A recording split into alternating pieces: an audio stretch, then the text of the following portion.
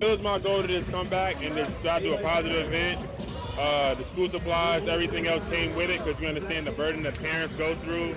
We understand that we have a lot of parents out here going, doing three to four jobs. I'm just trying to do my part and help them out because at one point my mom was doing the same thing and my community helped my mom out too. So.